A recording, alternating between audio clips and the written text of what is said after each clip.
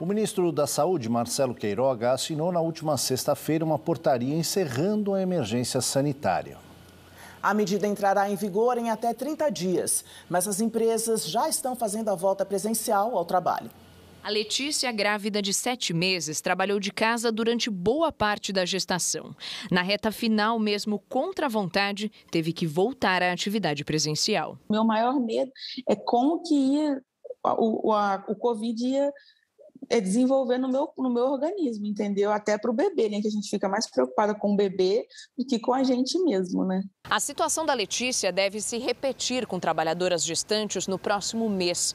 Isso porque o Ministério da Saúde decretou o fim da emergência sanitária, em vigor desde fevereiro de 2020.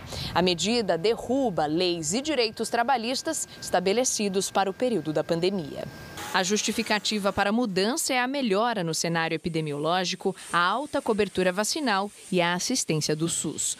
Com isso, devem deixar de valer a obrigatoriedade do uso de máscaras e de protocolos sanitários nas empresas, o afastamento de funcionários com sintomas gripais até a confirmação de Covid por teste, a proibição de demissões de pessoas com deficiência e o trabalho remoto a gestantes, vacinadas ou não, além de idosos e pessoas com comorbidades ela tem um impacto direto muito mais em questão de é, deslocamento, tá? em questão de ergonomia.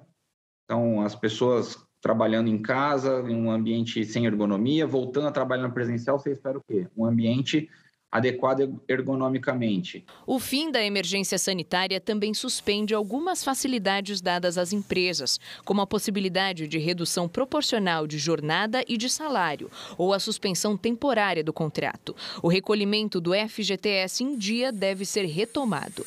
Este advogado trabalhista orienta empresas e trabalhadores a aguardarem novas normas que devem sair nas próximas semanas antes de fazerem qualquer mudança e diz que o bom senso nessa essa relação deve prevalecer.